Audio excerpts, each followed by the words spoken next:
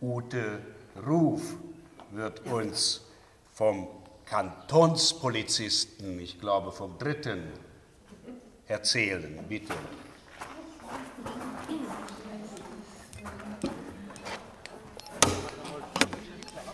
Der Kantonspolizist und andere Persönlichkeiten.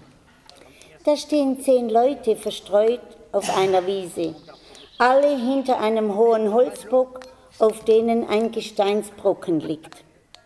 Sie bearbeiten ihn mit Hammer, Spitz und Zahnmeißel. Sie nehmen teil an einem Steinskulpturenkurs. HPs Eidechse, wo ist der Eidechse? HPs Eidechse bekommt heute Augen. Gar nicht so einfach. Er betrachtet Eidechsenfotos. Die Augen müssen herausstechen. Sowas gelingt nicht in einer Stunde. Vielleicht aber noch heute. Und? Ja. Britta macht aus ihrem gelben Koloss einen Charakterkopf. Wie gut, dass sie in Berlin wohnt und kein Auto hat. Sie schenkt mir diesen Kantonspolizisten weil ich ebenerdig wohne. Ich streiche meinem neuen Beschützer über die täglich immer glatter werdende Stirn. Ein toller Typ. Danke, Britta. Wenn du ihn mal zurückhaben möchtest, dann hol ihn dir. Wir sind in Inzighofen in einem alten Augustiner-Rinnenkloster. Die Volkshochschule bietet einwöchige Kurse an. Von den Steinbildhauern kommen die meisten seit vielen Jahren hierher, wie zum Beispiel Klaus. Ihn faszinieren die Gegensätze von unbehauen und geschliffen. Er geht drei Schritte zurück, betrachtet sein Kunstwerk aus Distanz, überlegt so den nächsten Ansatz für den Meißel. Vorgestern war noch ein Stein in seinem Auge. Nein, Verzeihung ein Auge in seinem Stein. Gestern machte er eine Sonne daraus.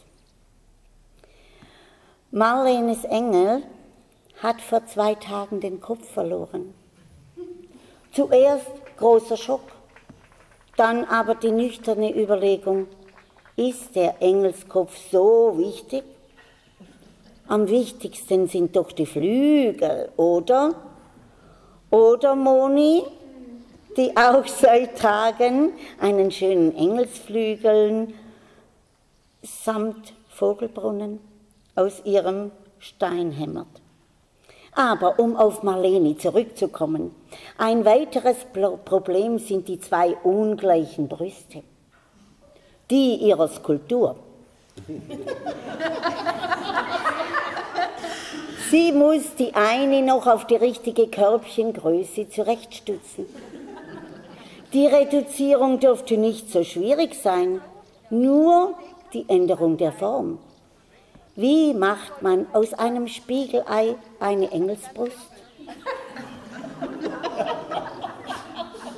Ich wollte Marlene ihrem Wesen ja auch ein dünnes Faltengewand einhämmern. Doch um die Nerven ihres Kursleiters zu schonen, meint sie, lässt sie es sein.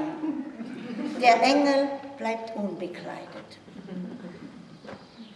Der Kursleiter heißt im Übrigen Erich Biel.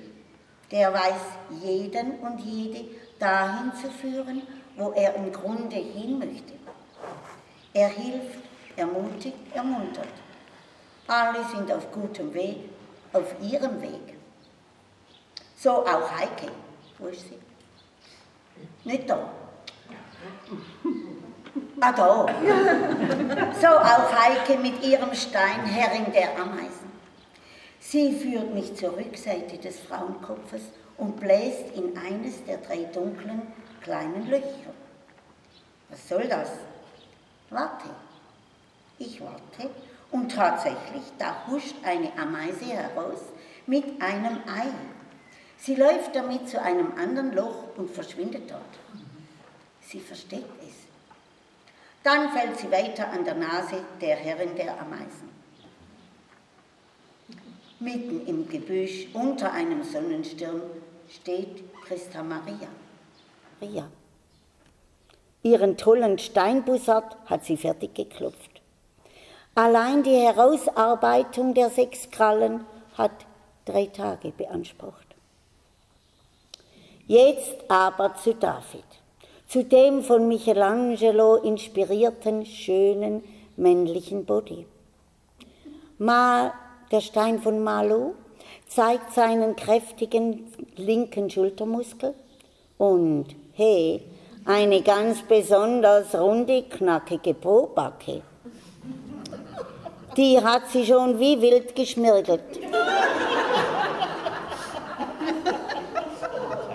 Mit einem Besen wischt sie weißen den weißen Kalksteinstaub zur Seite. Sie zeigt mir das Schleifpapier. Es trägt die Nummer 400. Je höher der Wert, desto glatter der Schliff, desto mehr kommt die Marmorierung zum Vorschein. 2000 die Nummer des allerletzten, allerfeinsten Schleifpapiers. Ich tätschle das blank polierte halbe Männerfudi und bin beeindruckt. Beeindruckt überhaupt von allen in einer Woche aus plumpem Gesteinsbrocken entstandenen Steinwesen.